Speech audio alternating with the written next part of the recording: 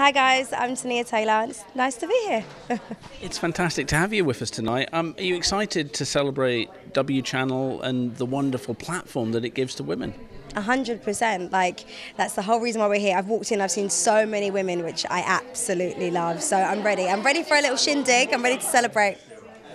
How important do you think it is to have that safe space on television carved out to explore and amplify women's voices?